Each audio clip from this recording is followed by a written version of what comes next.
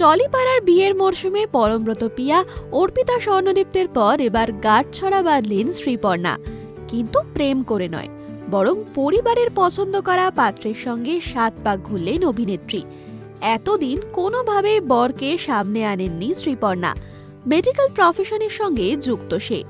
একেবারে বিয়ের আসরে সকলকে প্রথমবারের জন্য চমকে দিল শ্রীপর্ণা। শ্রীপর্ণার বরকে প্রথমবার সামনে থেকে দেখল সবাই। বিয়ের দিন লাল বেনারসিতে সাজলেন অভিনেত্রী, সঙ্গে ম্যাচিং লাল ব্লাউজ। সাজ ছিল পুরোপুরি বাঙালিয়ানা।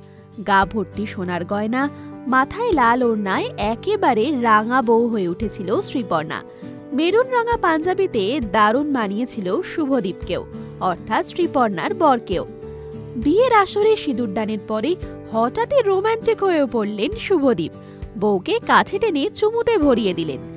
আর এটাই ছিল শ্রীপর্ণার বিয়ে সেরা সেরা মোমেন্ট এদিন রিয়াজ লস্কর ওরফে গাঁটছড়ার কুনাল শ্রীপর্ণার বিয়ের ছবি সোশ্যাল মিডিয়ায় পোস্ট করে তাকে শুভেচ্ছা জানান।